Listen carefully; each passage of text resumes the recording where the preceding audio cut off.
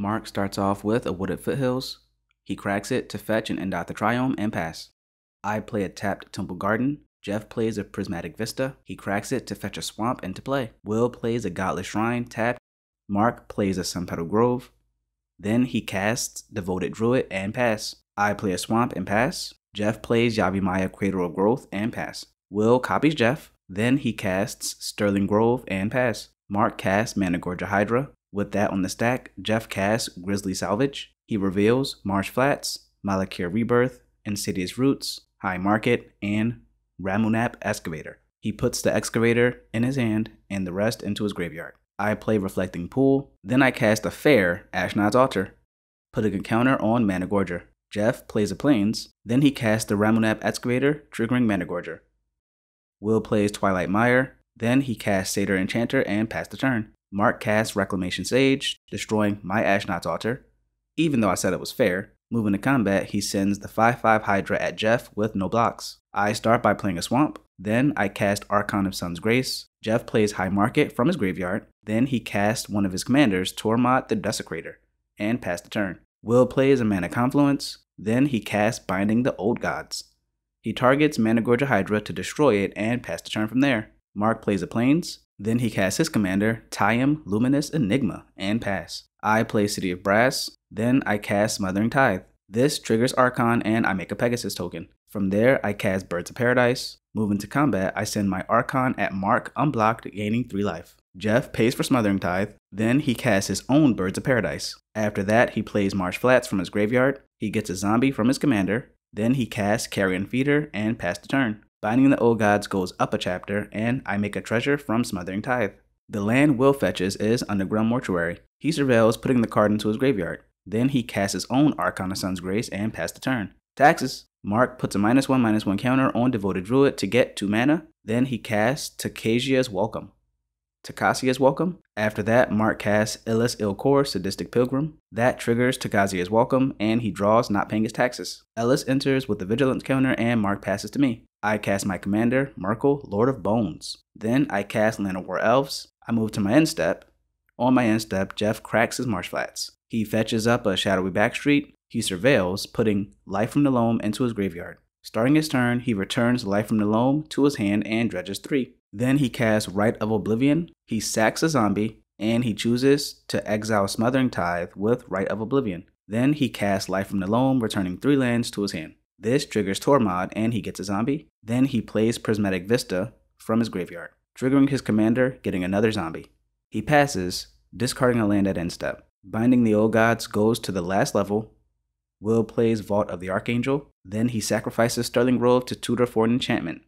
He tutors for Sythis Harvest Hand. He'll put her on top of his library. Then he casts Aura Shards. This triggers the Satyr, so he draws the Sythis. He'll also make a Pegasus token. Then he'll cast the Sythis he tutored for. He draws another card and destroys my treasure with his Aura Shards trigger. He destroys Mark's Tocasia's Welcome with the other Aura Shards trigger. Moving to combat, he sends his Archon at me. I block it with my Archon and my Pegasus token to kill it. When my Archon dies, I choose to exile it with my commander's ability, returning it as an enchantment. Mark plays a Savannah, then he casts Luminous Broodmoth. It enters with a Vigilance counter.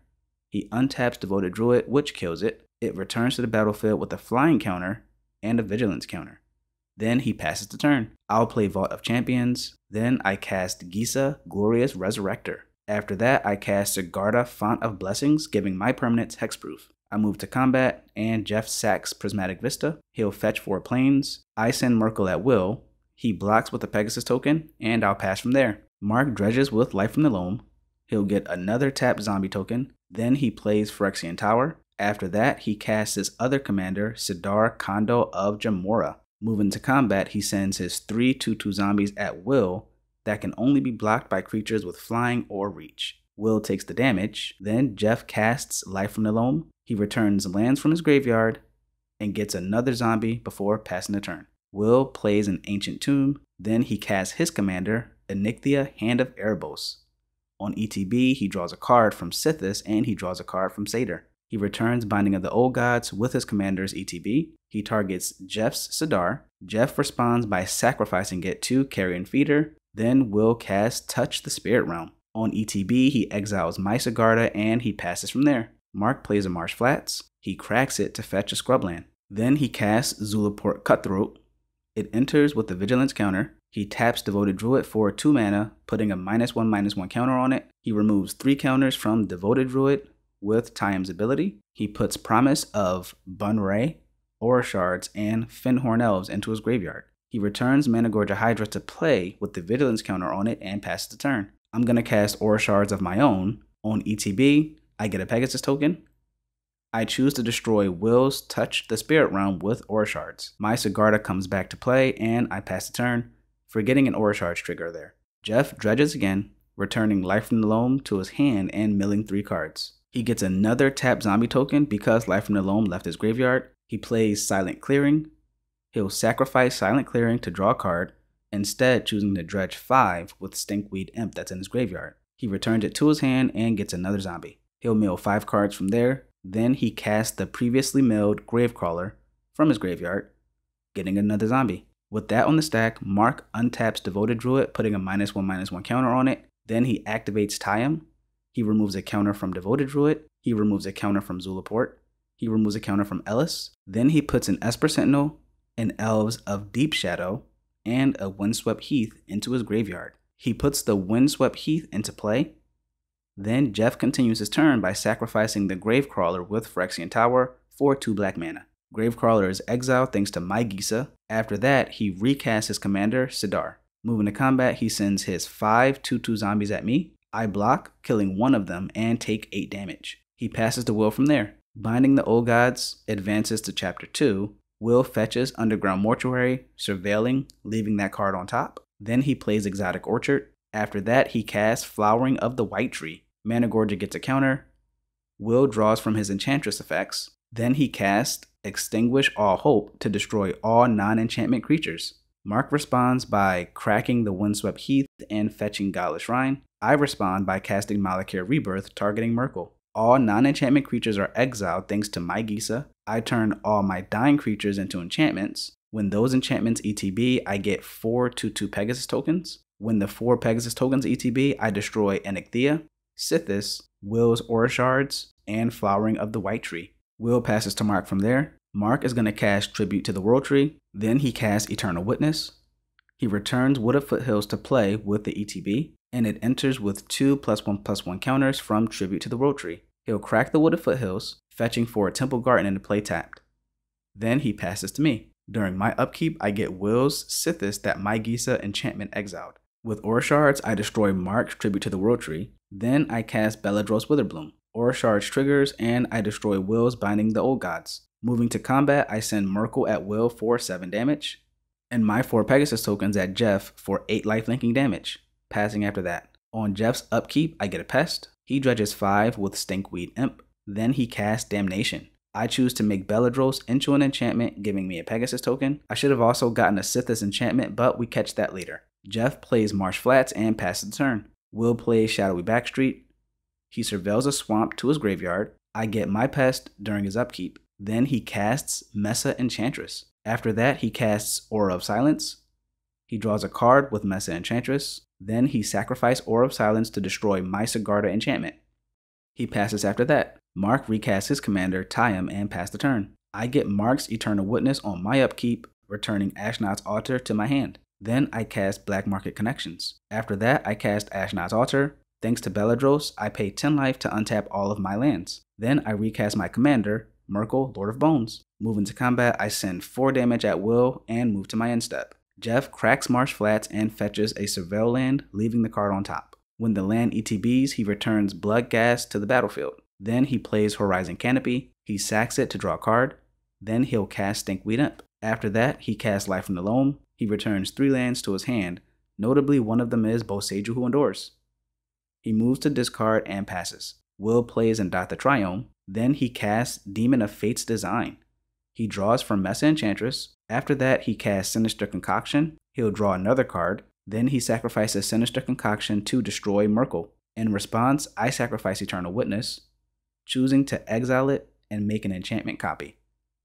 This gives me a Pegasus token. I destroy Demon of Fate's design on ETB. My commander dies, but I do return Malakir Rebirth to my hand. Lastly, Will cast Enchantress's Presence, drawing another card. I get a pest on Mark's upkeep and I destroy Will's Enchantress's presence. Mark casts Champion of Lambholt. It enters with a Vigi counter. Then he casts Butcher Ghoul. He puts a counter on Champion of Lambholt and a Vigilance counter on the Butcher. During his end step, Jeff channels Boseiju, destroying my Gisa enchantment. I get to fetch for an Indatha Triome and a play tapped. I full send with Black Market, getting a treasure, a shapeshifter, and drawing a card. Then I cast Illustrious Wanderglyph. After that, I recast my commander, Myrkul, by sacrificing 5 pests to Ashnod's altar and gaining 5 life. Then I play Overgrown Tomb. Moving to combat, I send another 6 damage at will and pass the turn. Jeff dredges with Life from the Loam. Then he recasts his commander, Tormod the Desecrator. He sacrifices Bloodghast using Phyrexian Tower.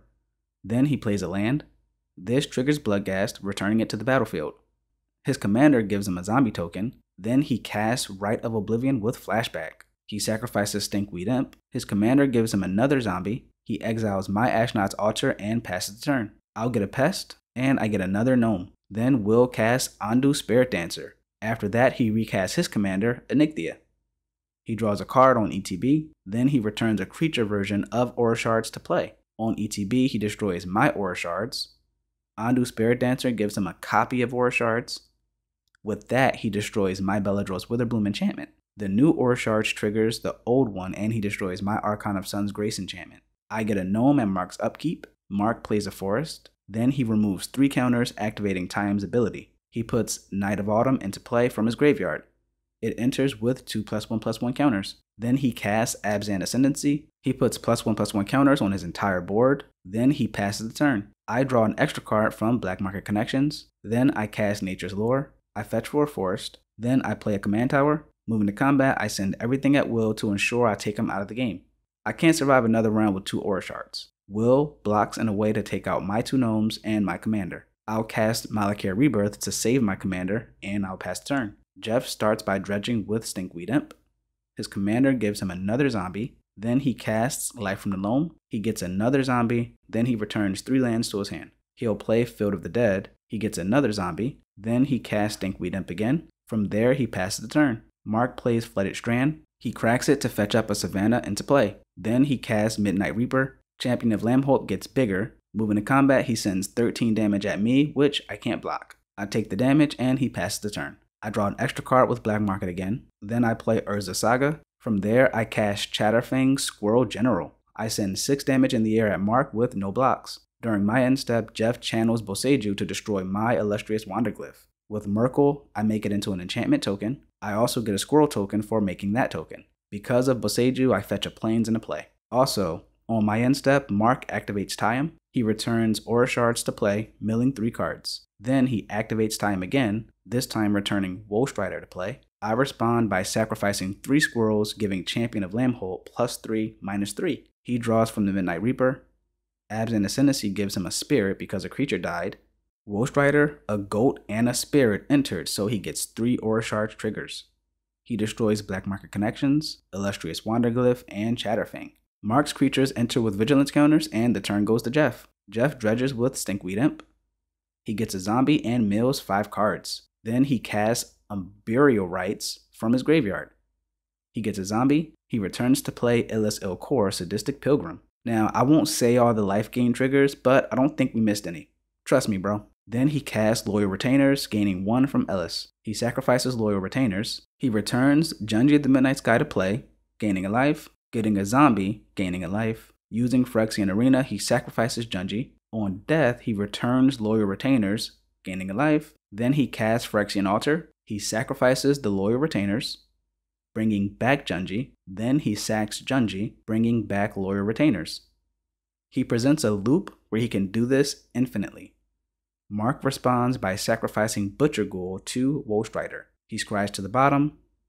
Butcher Ghoul returns from the Undying trigger, and Mark destroys Phyrexian Altar while Loyal Retainer's ability is on the stack. Junji enters the battlefield. Jeff gets a zombie and gains 2 life. Then he sacrifices Junji with his high market. He chooses to return Karmic Guide, getting another zombie. Karmic Guide's ETB returns Ranger Captain of Eos, getting him another zombie token. Ranger Captain of Eos gets Viscera Seer to hand. He'll play Nurturing Peatland, then he casts the Viscera Seer. He sacrifices Bloodghast to Viscera Seer. He'll scry to the bottom, draining the table for one. I forget to take the damage, but it doesn't impact the game at all. Mark starts his turn by casting Worldly Tutor. He tutors for Kitchen Finks to the top of his library.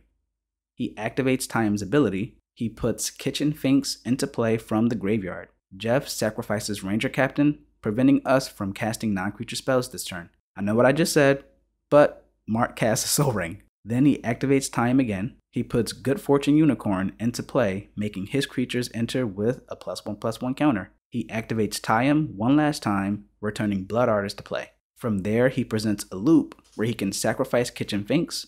It has Persist, so it returns to play with a minus one minus one counter on it, if it doesn't have one.